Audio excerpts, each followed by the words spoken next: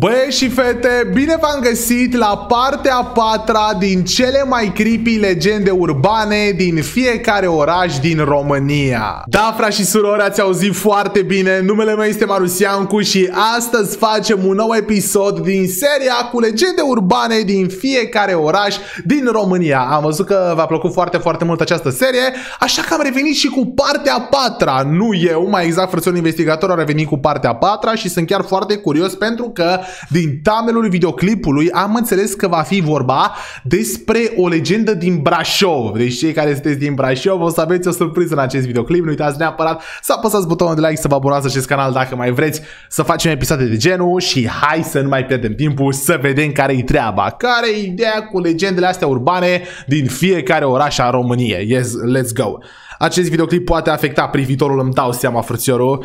Crede-mă că îmi dau seama. Hai să vedem cum începe. Let's go. Sunt chiar foarte, foarte curios. Mi-e și un pic frică. Sunt pline de misticism, ne trezesc curiozitatea și fac posibil orice scenariu SF. Legende urbane, nu? Acestea sunt de fapt legendele care și-au găsit... Băi, locul merge în mintea, timpul merge graiul mintea. românesc. Unele mai înfricoșătoare, altele mai puțin. Însă toate au fost cu siguranță atent și iscusit create de înaintașii noștri. Corect. Cele mai multe dintre De acolo acestea știm. sunt legate de locuri aparte din țara noastră. Locuri bântuite, se spune. Dealul Lunganilor. Bă, cred că am auzit de asta. Cred că am auzit. Cred că este ceva destul de cunoscut. Dealul Undeva în Lunganilor. inima Moldovei, între orașele Iași și Pașcani, se află Ia satul Sârca, din care se poate ajunge în comuna Mamă, Lungani. fraților, dar Sârca, dacă nu mă înșel, nu era și o babă, baba Sârca, care ea, era iară gen o, o legendă de asta urbană. Nu, da, nu știu dacă Sârca sau altcumva. Hmm. Faptele stranii petrecute aici avertizează orice drumeț care vrea să plece la ceas de seară spre Lungani, mai ales dacă drumețul este un om bun cu Da. inima curată, deoarece fantomele pripășite în aceste locuri pândesc în special pe cei cu suflet bun. Tai, păi dacă În n-ai acest suflet sens, bun, du-te acolo. sunt Spăimântătoare prin care au trecut destul de recent numeroase persoane. Ok. Sălașul fantomelor din zonă este canotat undeva la capătul unui iad secat, unde, conform poveștilor, oamenilor le apar stafii care urmăresc cale de 3 km până în satul Goiești. E bine dacă nu le fac nimica, fraților, este o experiență până la urmă. Bătrânii povestesc că în locul Da, respectiv, este vorba de, de, de o luptă care a avut au loc fost acolo. îngropați fără împărtășanie și lumânare, mulți soldați uciși în anul 1917 în decursul primului război mondial. Știu, fraților, că și de dealul Cei lunganilor, știu, cezește știu, știu. drumeți Spun că au văzut odată cu căderea nopții siluete translucide albe și tăcute care pluteau alături de ei întotdeauna pe partea Scuzați-mă. dreaptă a drumului. Bătrânii spun că soldații fantomă care acum sunt prinși între lumi, stafiile lor apărându-le în special oamenilor cu suflet bun și copiilor, așteaptă ca pe dealul lunganilor să se facă o slujbă de pomenire a sufletelor și o sfințire a locului. Păi de ce nu se face, frățiorul? Că din 1917 au trecut vreo 106 ani, vezi că merge mintea. 106 ani. Copilul lup. Ăsta cred că e din Brașov. Deși e din Brașov, ascultați aici. Cred, nu sunt sigur. O poveste zguduitoare este cea a copilului lup de la Brașov. Fiți atenți, eu n-am auzit în viața mea de asta, dar se pare că e, e o chestie care O există. legendă veche de sute de ani. Ok.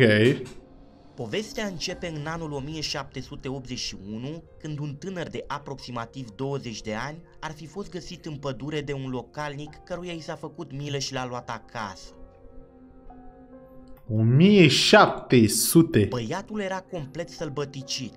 Nu comunica, nu vorbea și se hrănea cu frunze, fructe și carne Ah, ok, frate, eu știți scenariul acesta, poate ați mai văzut și filme despre oameni care trăiesc în pustietate cu animalele și dacă vin în societate se comportă la fel ca și cum ar fi cu animalele, se comportă ca un Abia animal. după trei ani a fost convins să mănânce mâncare normală și să poarte încălțăminte și haine.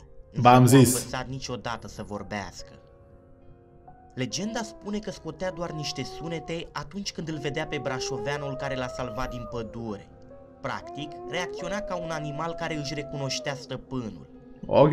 Aceeași legendă mai spune că tânărul urla de fiecare dată când vedea muntele Tâmpa. Nu a Mamă. reușit însă niciodată să se integreze și să devină un om normal. A rămas un lup. Este pe calea lupilor toată viața lui. ok. Conacul Belu. Băi, e foarte plauzibilă acea a, povestea asta, legenda asta de înainte, pentru că, na, există genul ăsta de oameni. Conacul Belu. Conacul Belu din Urlați este bântuit de Urlați. un fantom. Cel puțin așa spun unii dintre localnici, vecini cu vechea clădire boierească devenită azi muzeu. Una dintre legendele care circulă astăzi printre locuitorii Urlațiului este desprinsă parcă dintr-un scenariu horror. Paianjenii ăștia sunt desprinși dintr-un scenariu horror, frățiorul. Belu, unul dintre nepoții lui Alexandru, întemeiul clanului, s-a stabilit cu multă vreme în urmă la Urlați. Ok. Soția lui George, Odet, era o franțuzoaică frumoasă care bănuia că soțul o înșală. George oh! n-a avut copii cu ea, avea însă mulți urmași din flori. Cum adică mulți urmași din flori? Localnicii spun că uneori pe timpul nopții, în podul conacului se aud zgomote ciudate, ca și cum cineva ar umbla pe acolo. Vreun șobolan. E vorba de fantoma Odetei, femeia care nu și-a găsit pacea nici în mormânt din pricina deselor aventuri amoroase ale soțului. A, copii din flori, adică avea copii cu alte femei, am înțeles. Ia uite, băi, păi și ăla de ce nu e acolo? Ia vezi, bă, frățiorul, te bântuie nevasta și după ce... Restaurantul misterios. Unul dintre cele mai înfiorătoare mituri urbane din București este cel legat de un restaurant din inima capitalei, care chipurile ar fi servit preparate cu carne de om. Aoleu, băi, băi, alo! Nu am auzit în de asta. în perioada interbelică, însă a prins din nou amploare în anii 80. Legenda spune că prin anii 20, în zona centrului vechi, era o plăcintărie celebră pentru plăcintele sale cu carne, al căror ingredient special era chiar carnea de om. Mm, păi, uh, auzi, am, am și o întrebare, vreau să fiți atenți. Uh, ok, carnea de om, da, foarte, foarte ciudat. Dar dacă era o plăcintărie populară, adică Practic, dacă e popular, cumpără multă lume. De unde au avut ăștia atâta carne de om? N-are niciun sens. Povestea este un pic trasă de păr.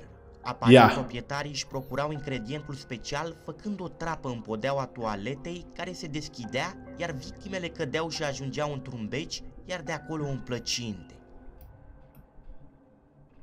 Băi, frate meu, băi, băi, băi, lasă așa, bra, eu nu cred așa ceva, ești nebun. Greu de crezut, dar iată că acest Correct. mit a făcut la un moment dat în conjurul Bucureștiului. Și na, în bro, 80 na. a apărut încă o poveste de acest gen despre un restaurant celebru din capitală despre care se spunea că ar fi servit ficat de om. Băi, oamenii mei, dar de unde fac ăștia rost de asta? Adică am, am auzit de unde, dar nu cred așa ceva, știi ce zic? Comoara dacilor.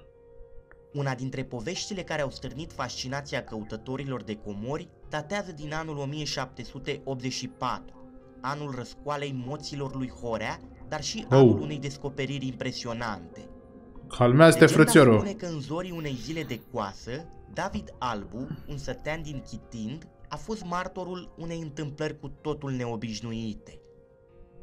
Țăranul a povestit că i-a apărut în vis un om vretnic, alb și înalt, pentru a-l îndruma spre locul tainic al unei comori impresionante. Ok, i-a apărut în vis, mare chestie. A indicat lui David să coboare la pârâul de la marginea satului și să-i urmeze cursul până la locul numit cheie.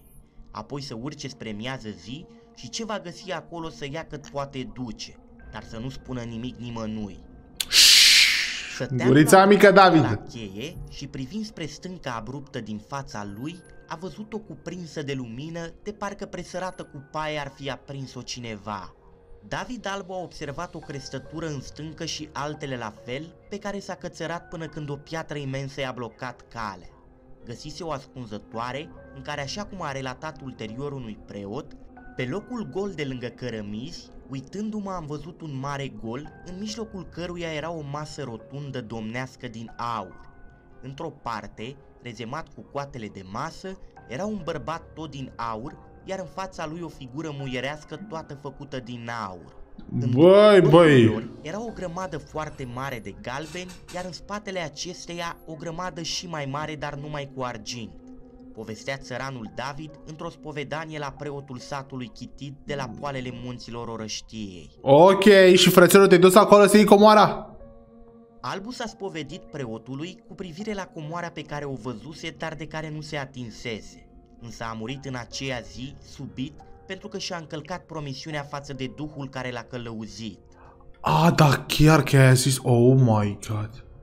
Nimeni nu a reușit să găsească ascunzătoarea aurului, însă febra lui a cuprins pe toți cei care au aflat despre mărturia țării. Crăciun, Crăciun. Băi, fraților. Deci, decât urmele unei așezări străvechi din piatră cioplită, cea a cetății de la Grădiștea, Sarmisegetuza Regia. Oh, what? Câțiva Așa s-a găsit Sarmisegetuza Regia? 803, norocul avea să dea peste un alt țăran, Arimie Popa. Fiul acestuia păștea porci în pădurile care acopereau culmile în apropierea unor ruine, iar un animal, scormonind pământul, a scos la iveală un galben. Băiatul și-a anunțat tatăl. Era foarte speriat pentru că se spunea că banii aceștia sunt păziți de diavol. Iar... Băi, corect, fraților, banii ăștia cu comorile cam asta sunt, adică na, dacă găsești o comoară, e cu duși întors, ai găsit foarte mulți bani da, având în vedere că na, v-ați prins, da. va fi Exact, exact, așa se, așa se zice. Da. Bravo, frățiorul, bravo! sute de galbeni risipiți printre rădăcinile unor copaci. Istoricul Sigismund Giaco afirmă că vestea despre găsirea comorii s-a răspândit cu repeziciune. Oamenii au pornit o adevărată migrație spre grădiște. Fiecare om sărac spera că fabuloasa comoară ce se ascunde printre ruine îl va scăpa odată pentru totdeauna de mizerie și îl vor face bogat. Complet normal. Grupurile ce se îndreptau spre munți cu topoare, sape și lopeți au atras pe drum și pe oamenii ce prășeau porumbul de la marginea satelor. Munca se oprea, iar fiecare om sănătos mergea spre grădiște. Autoritățile au fost nevoite să intervină în forță și au pus ruinele sub pază, însă localnicii nu s-au temut. Păi, cu logică. Oamenii din sate noaptea pe furiș și înfruntau munții ce își dormeau somnul iernatic. Nici ploile de toamnă, apele mari, drumurile de neumblat, nici frigul năprastic, nici primejdiile din pădure... Nimic, fraților, numai pentru aurul ăla. Nu puteau speria iobagii apăsați de sărăcie în goana lor după noroc. Corect, corect, frăților, aici e corect. Dar, din păcate, nu s-a întâmplat nimic. Comoara haiducilor. Sub vârful Zvinecea, din munții Banatului, un obiectiv turistic destul de puțin cunoscut, se pare că există o comoară îngropată sub munte. O altă comoară, let's go. Acum okay. câteva sute de ani, peșterile din Zvinecea erau refugiile favorite ale haiducilor din Banat. Legenda vorbește despre o peșteră de aici, de la mine. burdușită cu aur. Acum, băi, se închid videoclipul ăsta, mă duc să caut coboara, dar stați două secunde că mai avem un minut și m-am dus. Locația unde este ascuns aurul nu este cunoscută nici astăzi. Hai. Știe doar că unde bate prima rază de soare la Rusalii, acolo este gaura peșterii. Dar să nu credeți că aurul din Zvinecea se lasă atât de ușor găsit. Adică? măcar pentru un căutător experimentat. Legenda spune că această comoară e protejată și de un blestem teribil. Nu mă mai dus să o caut. Lasă așa, să mulțumim cu ce au avertizat căutătorii de comori de prezența unui monstru care doarme încolăcit în jurul sacilor cu galbeni. Nu știm dacă un monstru Ma. zugrăvit doar de legile misterioase ale criptozoologiei păzește comoara din Vinecea, dar nu excludem posibilitatea existenței unei cantități impresionante de aur ascunsă undeva într-o grotă astupată de la poalele munții. Corect, corect, fraților, corect. Dar na, foarte, foarte ciudat. Și aici s-a terminat episodul, băi și fete. Mulțumesc pentru vizionare, după cum zice și frățiorul investigator.